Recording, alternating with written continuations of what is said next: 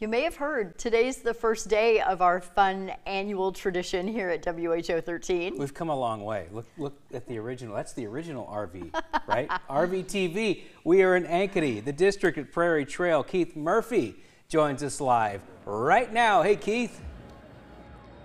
Hi, Elias. Uh, we are here at the district at Prairie Trail. We're in Ankeny. So I just went around looking for Ankeny residents, trying to find one. I just found someone uh, from Ankeny. And uh, sir, your name? Uh, my name is TJ Otzelberger. TJ Otzelberger, and you live here in Ankeny? I do. Uh, happy resident, proud to be here. Love to see everybody coming out. Ankeny is the best place on earth to live. Best place on earth to live. That's quite an endorsement. And what made you move to Ankeny? It's it's TJ, right? It is. It is. It's TJ. Um, great community uh, for our kids. We have a young family, awesome schools, great people. Um, just love the people here. Love being here. And, and what do you do for a living? Um, I impersonate uh, a basketball coach from time to time. All right, that is uh, TJ Otzelberger, as you know, the head coach of the Iowa State Cyclones. And what, what does this rivalry mean to you in this week? Well, it's it's a huge week. I mean, this is the best rivalry in all of college sports. Uh, you see the passion from the fan bases, and you know we're fortunate. Uh, we've been on the positive end of this thing, and we're looking forward to some big wins. None bigger than a football win for Matt Campbell and his team come Saturday.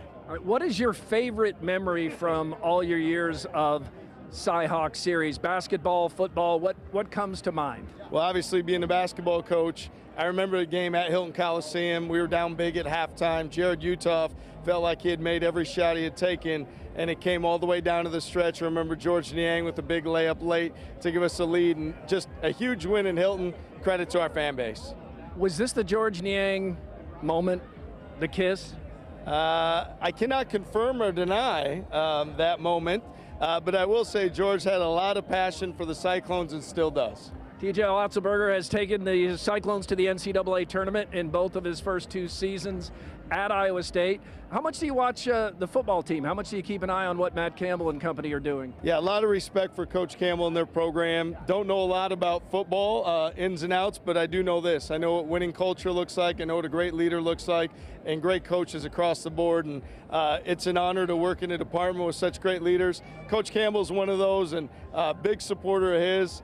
Great recruiting tool for us to be able to bring uh, men's basketball athletes to football games and see the, the energy and atmosphere that he's created through his hard work and leadership. Uh, it's it's known that you're a Wisconsin guy, but it seems like, like me, you are now an Iowa guy. Like this is home. What is it about being at Iowa State that you wanted so much? Because everyone knew you wanted to come back to Iowa State, and you see it as a destination job. Why? Well, first of all, for me, I've grown up in coaching at Iowa State, and so many people have treated me so well, um, mentors along the way, and people that have been great. Um, I believe in Iowa State. I believe in the vision. I believe in the mission. I believe in the leadership, Coach Wintersteen, Jamie Pollard. Um, it's a place I have a lot of pride. My wife certainly, uh, she's the athlete in the family. She had a terrific career. So Iowa State, you know, at our core, it's it's who we are. Uh, we live out being Cyclones every single day, and it's truly an honor to be the head coach at Iowa State. It means a lot to us and our family. Well, I found uh, one of the most interesting Ankeny residents you could run into here. We'll be right back with more RVTV Live from the district at Prairie Trail in Ankeny. Thank you, Coach. Thank you.